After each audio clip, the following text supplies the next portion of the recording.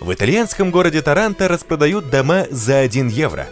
Власти города Таранто в регионе Апулия на юге-востоке Италии продают жилые здания по цене 1 евро в надежде привлечь инвесторов и новых жителей. Городское правительство рассчитывает на рост населения в историческом центре Таранто. Раньше в населенном пункте проживало около 40 тысяч человек, тогда как сейчас количество жителей снизилось до 3 тысяч. Одной из причин массового отъезда горожан стало аварийное состояние множества домов. Отмечается, что в Таранто привлекательный, мягкий климат, прекрасная архитектура и живописная природа. Кроме того, потенциальных покупателей может привлечь заповедник Фламинго, расположенный неподалеку.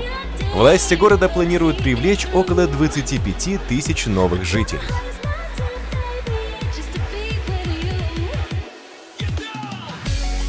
Понравилось видео? Хотите знать о переезде за границу больше? Кликните на колокольчик в правом нижнем углу.